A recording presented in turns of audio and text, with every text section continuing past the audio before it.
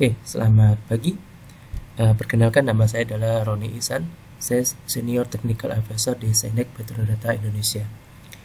Kali ini saya akan coba membawakan materi tentang ekspor data PAM untuk uh, skema atau user. Uh, saya akan coba uh, lakukan ekspor untuk uh, user code ya. Jadi semua tabel yang dimiliki oleh user code dengan uh, direktori empdir di mana kita udah setting terlebih dahulu directory tersebut lokasi filenya ada di mana. Nah nanti file yang akan terbentuk adalah ini scott.dmp log filenya adalah scott.log oke kita coba jalankan.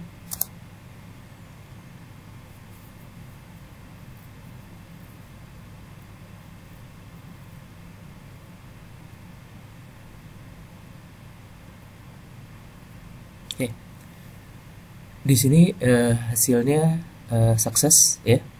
Di mana uh, diekspor ada beberapa buah tabel. Ada tabel departemen 4 record. IMP 14 record. Pensiun 14 record. Sal grade ada 5 record. Dan bonus kebetulan uh, tidak ada datanya.